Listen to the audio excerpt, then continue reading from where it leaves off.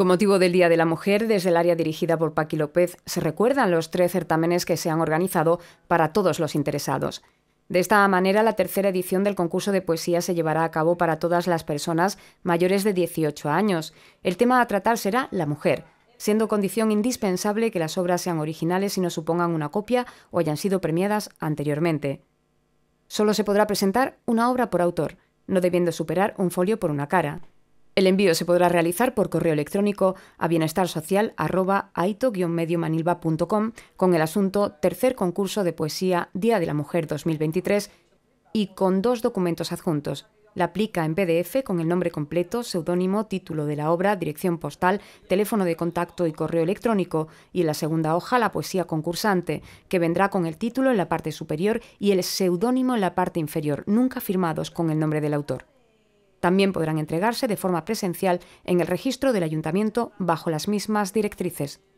Dotado con un premio a nivel nacional de 300 euros, un segundo y un tercero a nivel local de 200 y de 100 euros respectivamente, los mismos consistirán en vales canjeables en cualquier establecimiento comercial de nuestra localidad y deberá ser previamente retirado en las oficinas de la Delegación de Bienestar Social del Ayuntamiento con una validez de un año.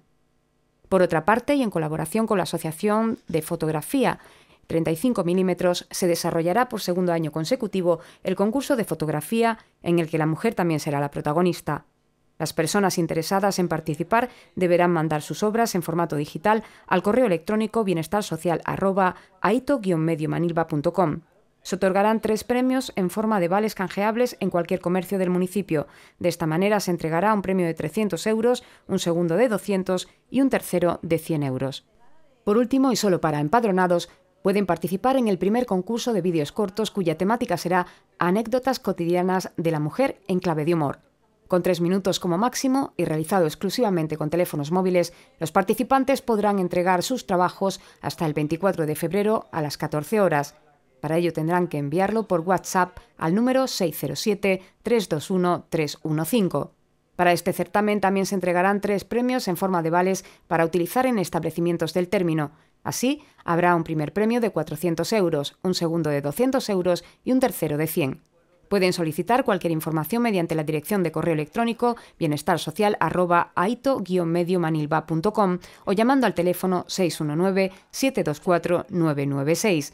El plazo de inscripción para los tres concursos finalizará el 24 de febrero a las 2 de la tarde.